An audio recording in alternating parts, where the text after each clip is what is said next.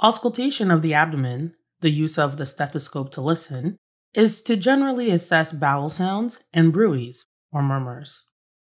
Use the diaphragm of your stethoscope. Warm up the diaphragm of your stethoscope by placing it in your hands. This makes it more comfortable when laid on the skin of the patient. Listen for bowel sounds in the abdomen to the right of the umbilicus, where the mid portion of the small bowel is located. Proceed to listen to all four quadrants. Normally, bowel sounds are low pitched, gurgling sounds that occur every 5 to 10 seconds with peristalsis or bowel movement. Note that this frequency varies per person. Therefore, listen for at least two minutes before concluding that the bowel sounds are absent. Absence of bowel sounds for greater than two minutes of listening may indicate that there is no peristalsis, which usually implies an ileus. Very high pitched bowel sounds can be associated with a mechanical obstruction, such as a small bowel obstruction, which increases the volume and frequency of bowel sounds. Here is a demonstration of auscultation of all four quadrants. Listen for at least 5 to 10 seconds in each quadrant.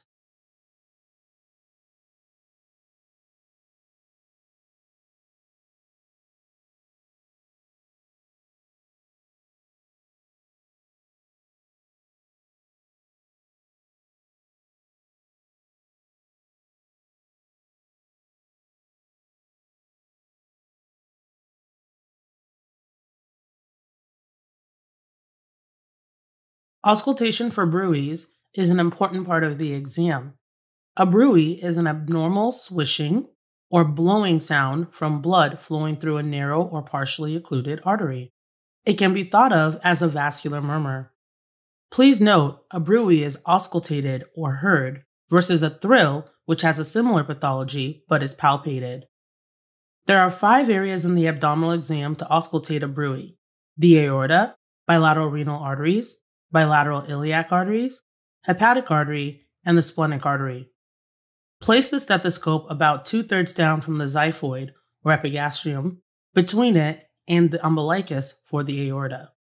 Place the stethoscope about 3 centimeters superior and lateral to the umbilicus on both the left and right side for the bilateral renal arteries. On some people, this may be approximated by drawing an imaginary line down the point just proximal to the midclavicular line. Place the stethoscope about 3 centimeters inferior and lateral to the umbilicus on both the left and right side for the iliac arteries.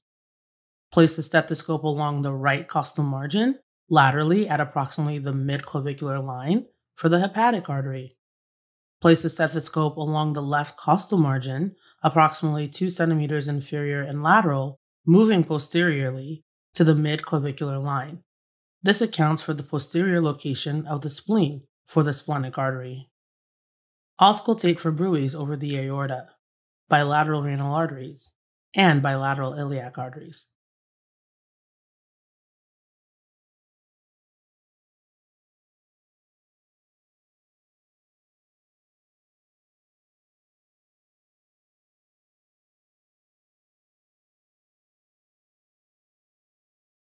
So I hope you liked this video. Absolutely make sure to check out the course this video was taken from and to register for a free trial account which will give you access to selected chapters of the course. If you want to learn how Medmastery can help you become a great clinician, make sure to watch the About Medmastery video. So thanks for watching and I hope to see you again soon.